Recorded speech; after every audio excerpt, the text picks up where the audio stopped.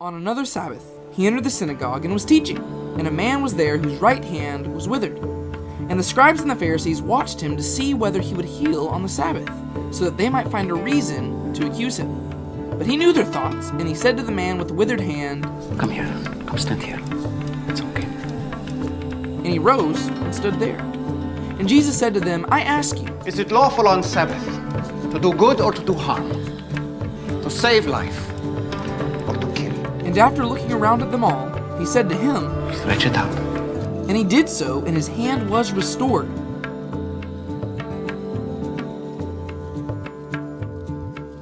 But they were filled with fury and discussed with one another what they might do to Jesus. You read a verse, you sing a hymn, the money's in the plate. Sundays you mark out for him, but even then you show up late.